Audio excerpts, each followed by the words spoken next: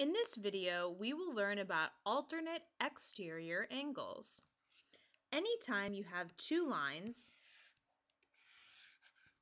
and those two lines are intersected by a transversal, two pairs of alternate exterior angles are created.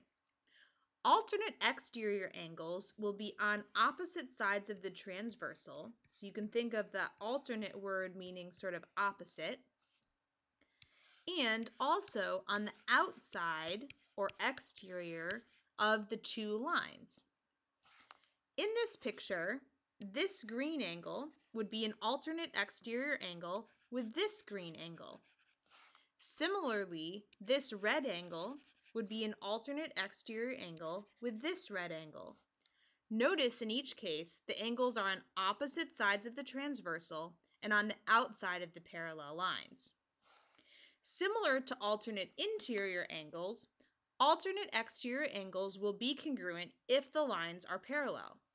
And the other way around is also true.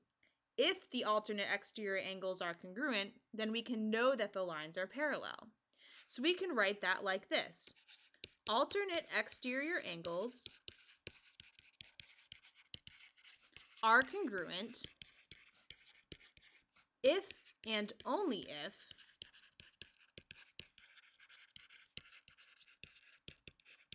lines are parallel.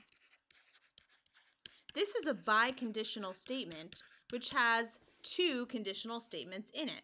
It says if alternate exterior angles are congruent, then lines are parallel, and also the other way around. If lines are parallel, then alternate exterior angles are congruent. So for the first one, if alternate exterior angles are congruent, then lines are parallel, that's a situation where if we have two alternate exterior angles marked as being the same, so if this is 100 degrees and this angle is 100 degrees, then even though it wasn't marked, I know that these lines have to be parallel. The other way around is if we know that two lines start out as being parallel, and they're marked as being parallel, that means any alternate exterior angles have to be congruent. So if this angle over here is 60 degrees, I know that this angle over here also has to be 60 degrees because it is an alternate exterior angle. Alternate exterior angles exist even if the lines are not parallel. So in this situation over here, where it was not marked that the lines were parallel, those are still alternate exterior angles, but we don't know whether or not they are congruent since the lines are not parallel.